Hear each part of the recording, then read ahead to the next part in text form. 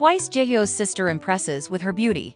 Earlier this year, Lee Ha Eum, Jihyo's sister, signed with Starhouse Entertainment to start her professional acting career.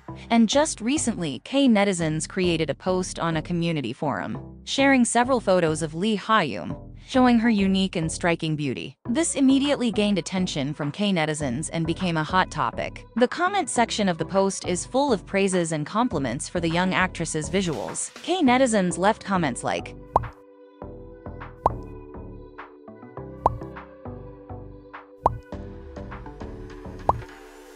Meanwhile, Jihyo will be making an appearance on the reality show I Live Alone with Ha Eum. In the recently released preview for the upcoming episode, the two sisters go on a camping trip and make good memories together. The episode will be aired on October 13th.